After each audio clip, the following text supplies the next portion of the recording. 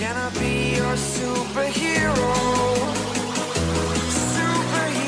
herzlich willkommen zurück auf meinem Kanal. Ich bin der Christian und heute gibt's kein wirkliches Orakel. Heute eher so eine Art Special, haben wir ja schon öfter mal gemacht, als diverse Trainer entlassen wurden. Oh, beziehungsweise heute mal zum Thema Bundesliga-Finale. Ich habe mich für Bayern entschieden, weil Bayern dieses Finale gegen Dortmund gewonnen hat. Also heute sozusagen, ja, ich weiß nicht, wie man es am besten betiteln kann, als Review. Ich habe gestern die Bundesliga-Konferenz geguckt. Die absolute Konferenz mit allen Spielen. Nicht nur Bayern und Dortmund wurde ja auch ähm, ja, angeboten. Das Bundesliga-Finale sozusagen zwischen den beiden Mannschaften in der Konferenz. Bayern hat gegen Köln gespielt und Dortmund gegen Mainz. Ich habe mich aber dafür entschieden, die komplette Konferenz zu gucken, weil es natürlich auch noch ein bisschen in Richtung Abstieg was gab, was man sich... Alter, okay. Was man, äh, also was relativ interessant war. Und dann ging es natürlich auch noch um die Champions League beziehungsweise Europa League, Conference League heißt das andere Ding, glaube ich, ne? Ah, das war wieder ein blöder Pass, den er da gespielt hat. Ja, das Ding stand ja im Prinzip relativ früh schon, ja, fest, sag ich mal. Da habe ich so gedacht, oh Mann, eigentlich wollte ich ein Spiel oder eine Konferenz haben, die richtig spannend wird. Und dann hat Bayern auf einmal gegen Köln geführt und Dortmund lag hinten gegen Mainz. Dann haben die noch einen Elfmeter gehabt. Den hat Haller leider verschossen. Schade. War vielleicht der Druck ein bisschen zu groß, vielleicht einfach Pech gehabt. Naja, viel mit reinspielen. Die Krönung war so ein bisschen dieser komische Wassersprinkler, der da in Köln angegangen ist. Da habe ich, ohne Scheiß, da habe ich kurz gedacht. Da habe ich kurz gedacht, ja, ähm, wir spielen ja in München. Ne? Das haben die Bayern doch jetzt mit Absicht gemacht, dass da ihr Wassersprinkler angeht, während Köln im Angriff ist, ne? Nee, die haben in Köln gespielt. Also da haben die sich selber ein Eigentor, äh, ja. Also ein sprichwörtliches Eigentor, ne? Es war ja kein Eigentor, es war ja bloß ein Angriff, der, den sie sich da selber haben äh, weggenommen. Aber das ist wild, sowas habe ich auch noch nicht gehört, dass da der Wassersprinkler angeht und dann die Torchance irgendwie verhindert. Ja, Köln hat auch noch einen Elfmeter gekriegt. Den haben die dann verwandelt stand es zwischenzeitlich 1-1 und Dortmund war wieder Meister, weil es ja dann wieder egal war. Bayern brauchte oder musste gewinnen. Oh, da läuft er da im Abseits rum, ey. Da habe ich mir aber schon gedacht, okay. Dortmund hat ja auch noch den Anschlusstreffer zu dem Zeitpunkt gemacht. Äh, da stand es auf einmal 2-1. Dortmund hätte noch zwei Tore schießen müssen. Wenn Dortmund gewonnen hätte, wäre alles egal gewesen, dann wären sie so oder so Meister gewesen.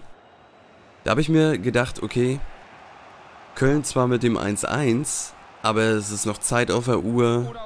Bayern wird definitiv noch ein Tor, sch äh, ein Tor schießen, beziehungsweise Bayern ist ja auch immer sehr gut darin, ähm, Nachspielzeit zu bekommen. Also ich bin sowieso zu dem Zeitpunkt davon ausgegangen, okay, wir spielen hier noch 20 Minuten oder länger. Und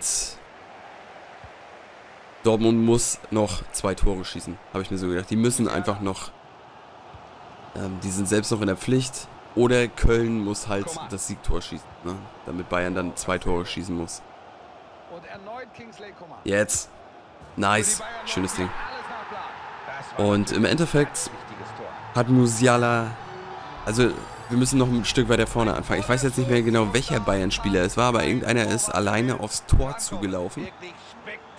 Und der Kölner äh, Keeper hat wirklich mit einer Glanzparade gerettet. Der hat das Ding wirklich, diesen, dieses Unentschieden für Köln im Prinzip äh, festgehalten.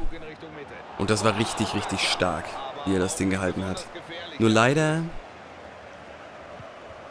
kam dann nochmal direkt der Gegenangriff von Bayern. Aus der Situation auch heraus, so die haben nochmal neu aufgebaut. Und äh, Musiala mit einem Sahneschuss da konnte der Torwart auch nichts machen. Der war A, sehr präziser geschossen Und B standen da auch noch ein Haufen Spieler im Weg. So, Musiala darf in der Situation gar nicht so frei zum Schuss kommen. Ne? Und dann versenkt er das Ding und...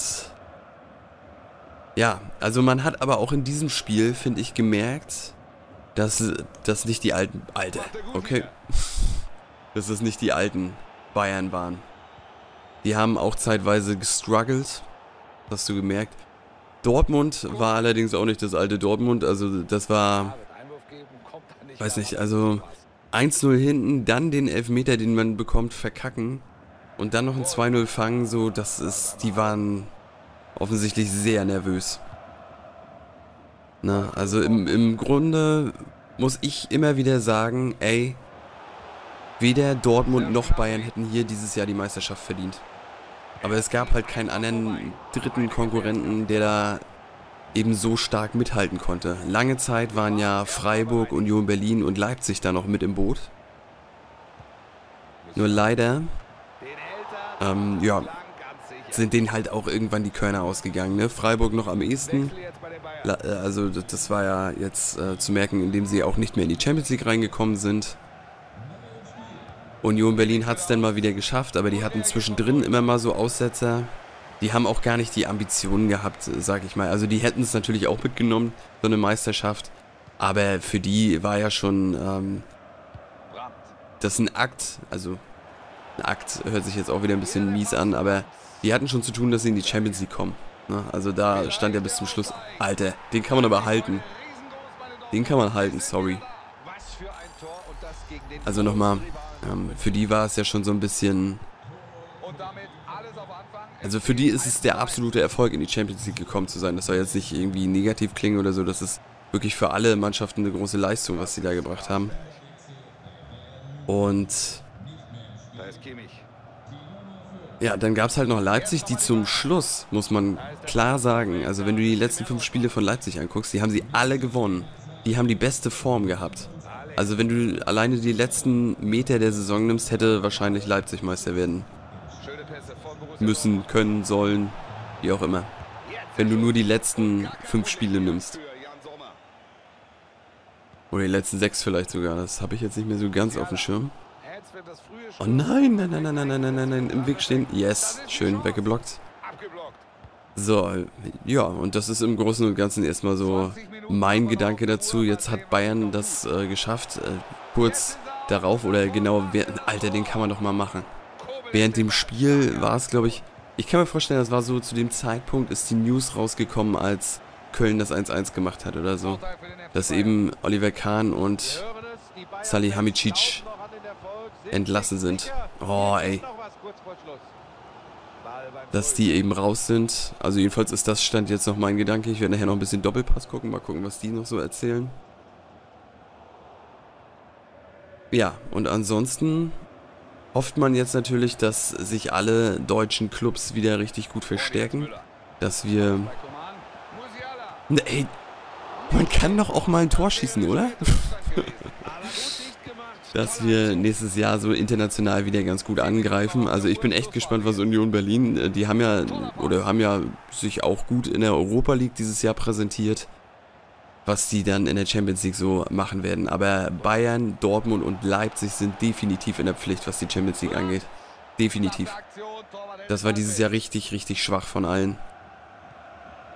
Bayern noch am, am äh, besten von der Form her, was die Champions League anging. Alter, was sind das teilweise für X-Pässe? Das war ein normaler Pass. Er rennt weiter. Ohne den Ball anzunehmen.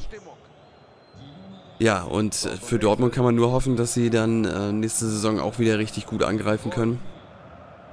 Aber alle Mannschaften dieses Jahr so ein bisschen, ähm, ja, also alle drei Mannschaften, wenn ich jetzt hier Bayern, Dortmund, Leipzig nehme, hatten alle zu tun, ähm, da irgendwie überhaupt oben mitzuspielen. Also das klingt jetzt auch wieder ein bisschen krasser, als es eigentlich sein soll. Weil sie alle eingebrochen sind. Ne? Bayern, da hat man es ja noch am ehesten gemerkt, aber Leipzig war auch äh, am Anfang, ähm, beziehungsweise mittendrin so ein bisschen am Wegknicken und Dortmund ja auch immer wieder und am Anfang der Saison, glaube ich, auch nur Sechster gewesen oder so. Ne? Leip, äh, Leipzig ist ja schon. Äh, Leverkusen war auch schnell unten dabei. Die hatten, glaube ich, am Anfang noch zu tun, dass sie nicht absteigen. Äh, die haben sich ja dann auch wieder hochgekämpft.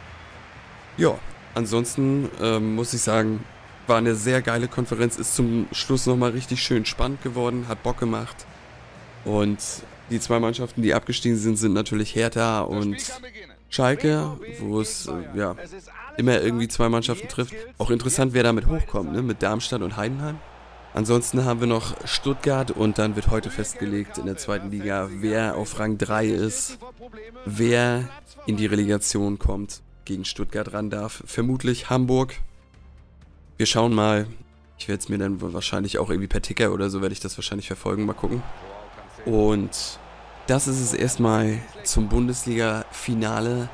Eure Gedanken wie immer gerne in die Kommentare.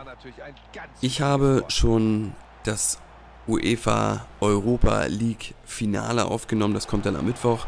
Und nächstes Wochenende gibt es dann Leipzig gegen Frankfurt im DFB-Pokalfinale. Relegation werden wir noch orakeln. Und natürlich das Champions League-Finale dann in zwei Wochen wird auch orakelt, ne? Ich hoffe, ihr seid dann auch wieder mit dabei und bis dahin sag ich einfach mal ciao.